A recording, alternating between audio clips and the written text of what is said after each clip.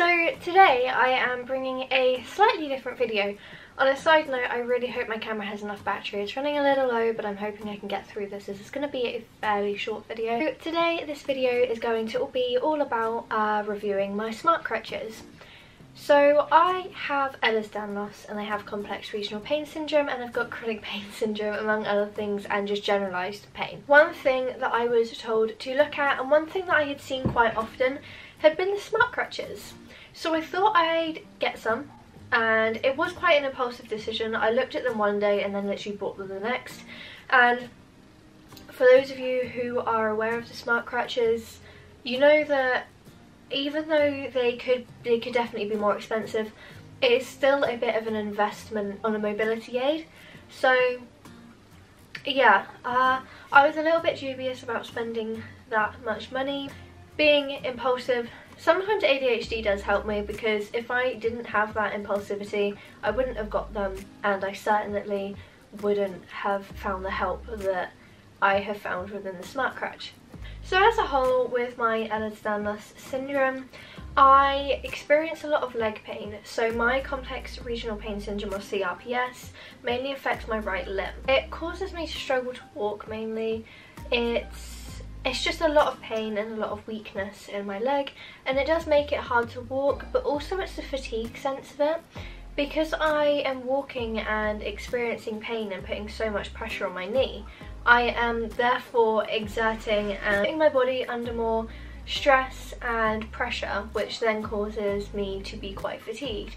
And being autistic and experiencing autistic fatigue as well as my other health issues it really takes it out of me and I really wanted to find something that would help with the pain as well as to support me especially with how clumsy I am and just all round an aid that I am not embarrassed to have to begin with, the design of the Smart Crutch is pretty efficient and it's nice to look at. It also makes me feel with so this may just be me, but when I use NHS resources like the original NHS crutches, just from a design aspect, I have a lot more people asking me what's wrong than or what has happened than to when I use the smart crutches and I think that's purely down to the design. The smart, the smart crutches give off that aspect of the fact that I have invested in these to help with a long-term health condition which also helps people not ask so many questions when I'm out, which is brilliant. It is absolutely brilliant. Well, being autistic, I really struggle with communication and it gets really, really annoying and really super tiring having to explain. Yeah, it is hard, especially with EDS because the people that are aware of it, brilliant. The people who have heard of it because of the hypermobility side of it, they're like, oh, so you're just hypermobile. You don't need those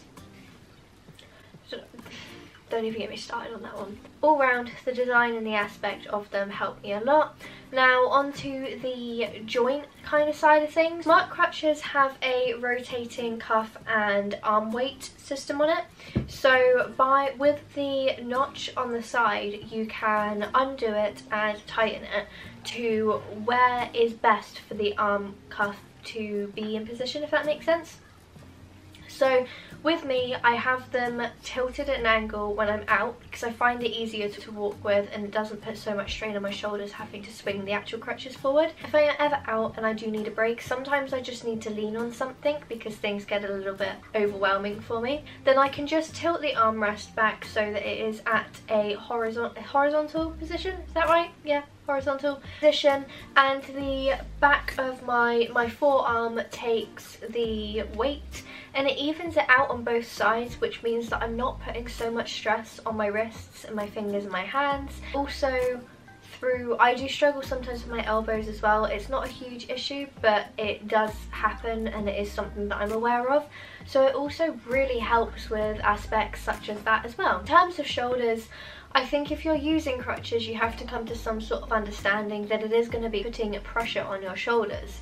However, with the smart crutches personally for me, I find that there isn't so much weight and shock going through my shoulders as there would be with normal crutches.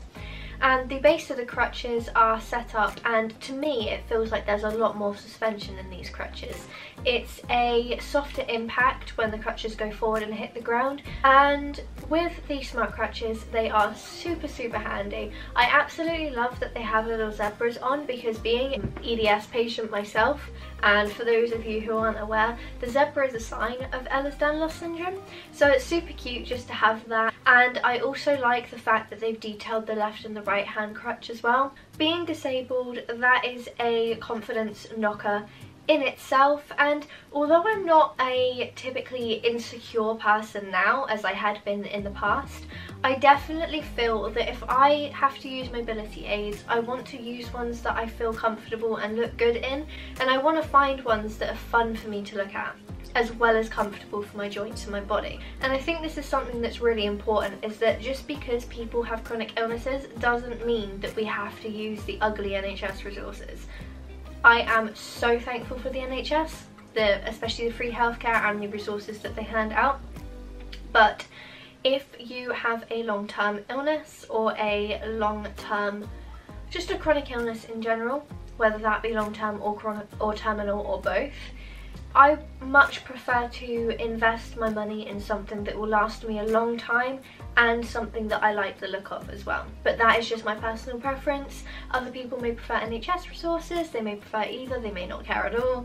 It is just personal preference at the end of the day. They have quite a few colours in. I did originally want to get either the yellow or the green ones but unfortunately after COVID they had to limit the amount of stock that they had in each colour which meant that the least popular colours uh, went out of manufacturing which is super annoying but the pink ones are super cute and I do absolutely love them. They are just hands down the coolest looking and most helpful crutch and mobility aid that I have used so far. Uh, this video wasn't sponsored or anything, I just kind of wanted to come on here and give my honest review. So I hope you've enjoyed this video and if you have any questions at all then please head to the comments box below any information that I think will be helpful to either my followers or my subscribers will be in the description box below, as well as the link to the Smart Crutch website. I do have a Discord server and it is the Over the Spectrum Discord server, which is also linked under the support section of my description box. Thank you for watching my video and thank you for hearing me ramble on.